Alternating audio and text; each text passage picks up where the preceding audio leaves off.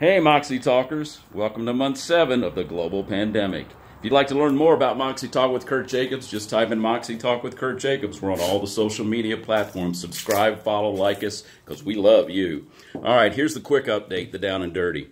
The first three months of now that we're into seven months, we called that triage. We were trying to figure out our team what the hell we were going to do, how we are going to change a TV studio based business model and modify for the times.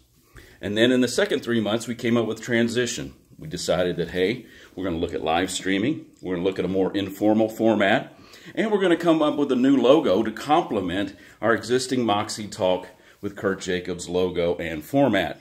And so now we're into the third phase, the seventh month through ninth month.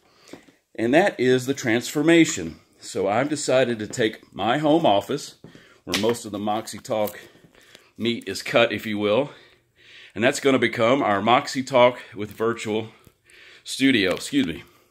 A little out of breath trying to get everything in for you. So stay tuned, like us, follow us, subscribe. We're here. We're not going anywhere. You guys stay healthy. We love you. If you're not, become part of our community. Be safe. And here's to a great, not yet, 2021. Peace.